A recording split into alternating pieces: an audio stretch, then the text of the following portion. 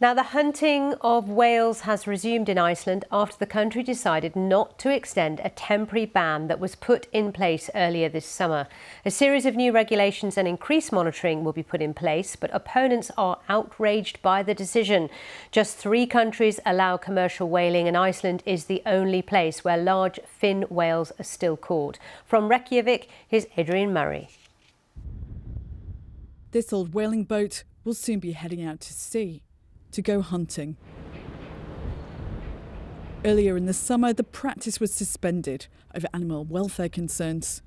Now the government has let whaling restart, though the minister said she'd done so reluctantly. This discussion is far from over.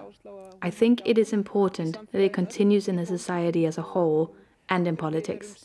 We are the last nation in the world that allows hunting of whales in this way. Environmentalists and animal rights activists condemned the move. It's a very sad day. I'm not really proud to be an Icelandic citizen today.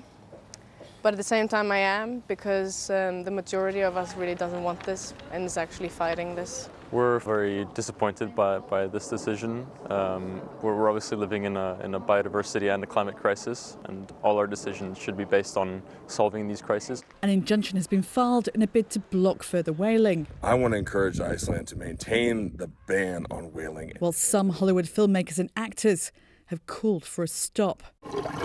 Fin whales are listed as vulnerable globally, but stocks in Iceland are reportedly stable. Only one whaling station still hunts them and mostly exports the meat to Japan.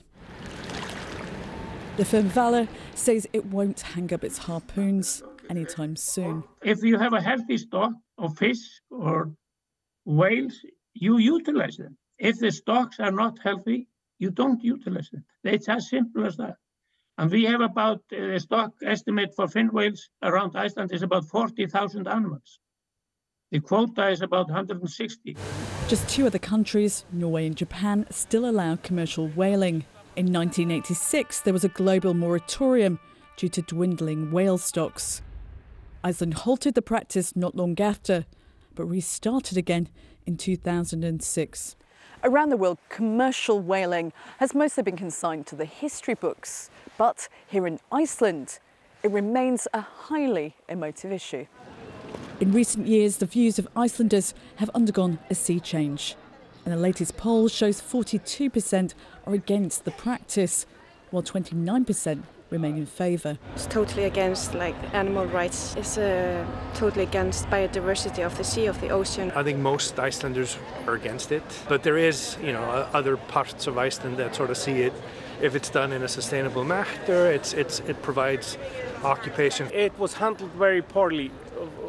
The Minister of the Sea Affairs uh, uh did a very poor job.